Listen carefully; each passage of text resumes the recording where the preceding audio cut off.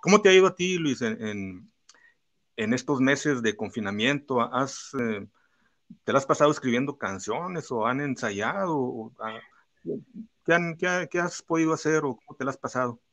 Mira, eh, los ensayos, obviamente, como somos una banda grande, ahorita somos nueve integrantes, eh, no, no era recomendable vernos por precaución. Solo nos vimos en noviembre para hacer un streaming eh, para Ocesa, nos vimos en noviembre, el 18 de noviembre y tocamos el 19. Pero em, pues ha sido pasarla con mucha disciplina. Em, yo ya no hago planes tan a mediano plazo ni a, ni a futuro porque no sabemos, nadie sabemos si lleguemos a ese tiempo. A cómo está la situación, está muy difícil. Entonces ya yo hago pequeños proyectos diarios. Es llevar disciplina diaria, llevar un, este, unos horarios diarios donde desde la mañana pues desayuno, a qué horas desayuno, a qué horas hago eh, tal cosa, a qué horas lo siguiente, hasta llegar a la cena, hasta la noche, un rato de, de, blues, un rato de, de ver la tele, y así es como he llevado en los momentos más álgidos donde no salimos para nada, es como puedes llevar la pandemia y aparte aprender a, convivir contigo mismo. Tienes que aprender a, estar contigo, con tu pareja y, soportar. No hablo de soportar a tu pareja, es soportar el encierro, el encierro donde están dos personas, donde a lo mejor estás con tus perritos nada más y, bueno, pero es, es a través de, de hacerte pequeños proyectos. Por ejemplo, si en la noche voy a hacer pan, este, es un proyecto ya. Si, si quiero escuchar un disco nuevo, un artista nuevo, es otro proyectito. Si voy a hacer de comer al otro día una sopa, es mi pequeño proyecto que, que es la ilusión de mi día. Entonces, no hay de otra, no hay de otra. Vivir al momento y disfrutarlo al, al máximo. Claro. ¿No, te ha tocado, Luis, caer en, algún, algún momento de, depresión o desesperación? Porque pues esta cosa se ha prolongado demasiado. Eh, mira, si pienso en eso, eh, si lo pienso, me puedo desesperar. Es, sería desesperante porque sí está muy grueso, porque es un golpe bajo a la, es un golpe muy bajo a la, a la música y sobre todo al rock mexicano. La verdad sí nos pegaron fuerte.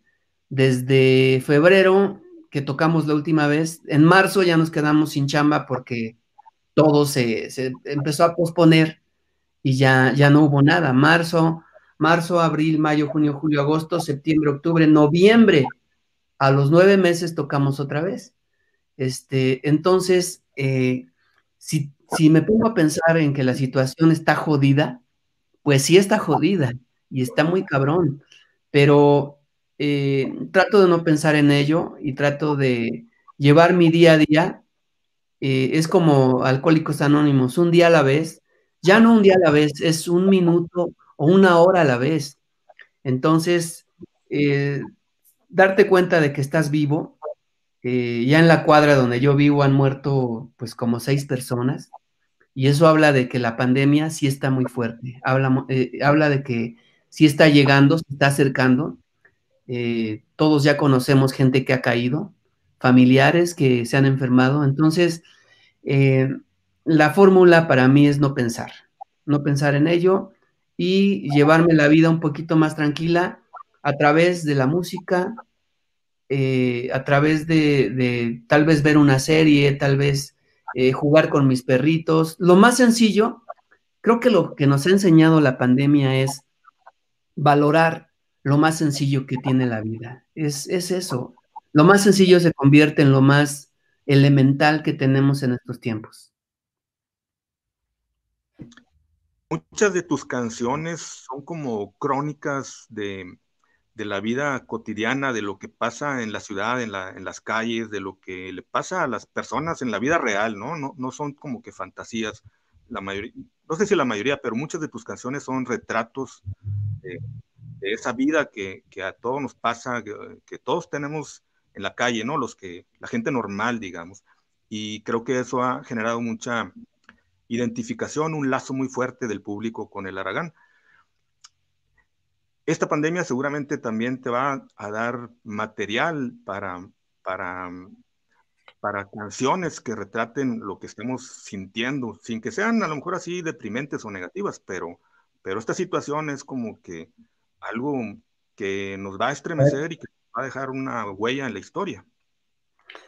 Claro, esto es algo que en 50 años se va a seguir hablando como si fuera ayer.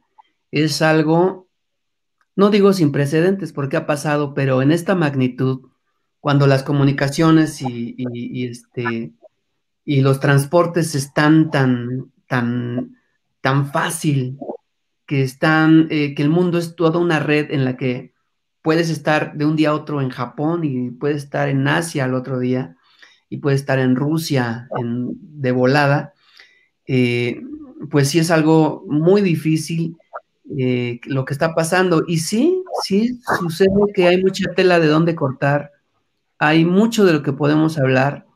Eh, la gente que está viviendo la soledad, que está viviendo la depresión, y no precisamente como dices, hablar de algo depresivo, también se puede hablar de esperanza, se puede hablar de, cómo estamos sobreviviendo como seres humanos a esta gran prueba, porque es una prueba muy grande eh, que está viviendo la humanidad y si no aprendemos estamos condenados a, repetirlo, a no ser nada ya. Entonces, eh, hay mucha tela de donde cortar. Este, nosotros como músicos, pues hacer lo propio, seguir haciendo música de la manera más sencilla o de la manera más elaborada, pero sí seguir eh, en el camino de, la música, produciendo eh, por ejemplo, este viernes vamos a estrenar una canción. Estamos trabajando en tiempo de pandemia y, este, y, bueno, yo creo que hay que aprender, hay que sacar la inspiración para, para hacer nuevas rolas. Confío en que todas las bandas del mundo, todas las bandas que están en el rock and roll, van a sacar algo muy interesante, porque el rock es el ritmo que dice la verdad, que habla de la rebeldía, de que te hace reflexionar y que, te habla lo que es de la vida. A través del rock, el ritmo del rock es, es donde podemos expresar lo que estamos viviendo socialmente a nivel mundial, las injusticias, todo. Entonces, yo espero que vienen, eh, que van a llegar muchas rolas y mucha inspiración. Luis, este viernes que vas a estrenar esta canción que se llama Yayo. Yayo. Yayo, ¿e-, ¿es, ¿es el nombre de una persona o, qué, qué, es? ¿O de qué trata la, rola? Mira, Yayo es un nombre, pues que es como el diminutivo de, un nombre o algo así, pero es como si dijera Pancho, como si dijera Richie, como si dijera Juve, es, es este, dedicada a, un, a cualquier eh, persona común y corriente, de, de, cualquier familia, de cualquier estrato social, de cualquier país, que tiene que ver contigo y conmigo, y con los demás también. Es una rola que tiene varios sentidos y que reflexiona acerca de, cosas humanas.